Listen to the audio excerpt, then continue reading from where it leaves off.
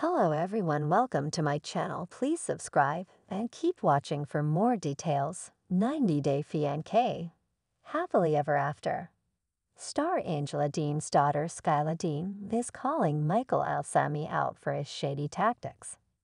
Angela has two daughters, Scotty and Skyla, and six grandchildren. She came to Nigeria to meet Michael for the first time when she was the sole provider of their home and taking care of her ailing mother. Angela's daughters always opposed her decision to marry Michael. Angela had even asked Skyla to tote a baby for her and Michael, but her daughter had outright refused. Skyla could never fully trust Michael and kept persuading her mom to leave him. Angela's daughter Skyla tries to warn her mom about Michael before the latter comes to America and disappears as per a Happily Ever After Season 8 preview clip shared by Access Hollywood. The clip is from the next episode of 90 Day Fiancé, Happily Ever After, Season 8 in which Angela is having a video call with her daughter to complain about Michael after his visa interview. Angela says no when Skyla asks if Michael got his spousal visa.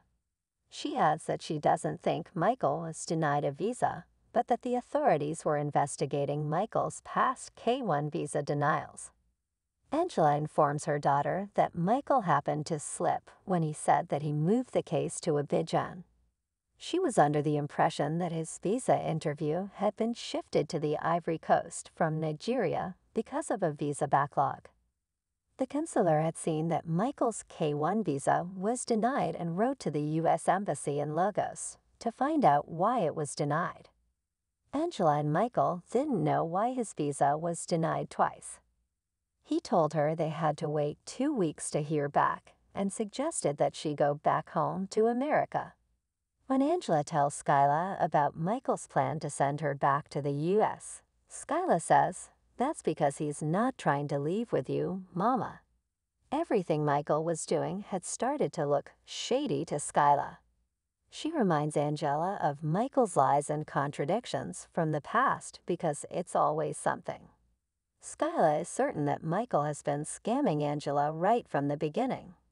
She asks her mom to figure out what is going on in Michael's head and see if he's using her to get to the U.S. without her. All Angela can do is sigh and say, Oh my God. It looks like Skyla, just like millions of 90 Day Fiancé, happily ever after. Viewers always had an inkling about Michael's plans once he landed in America. While they would never have guessed he was going to dump Angela within two months of his arrival, they expected him to leave her nonetheless. Michael already had a backup plan in place if Angela broke up with him when he cheated on her with the 30 year old American woman.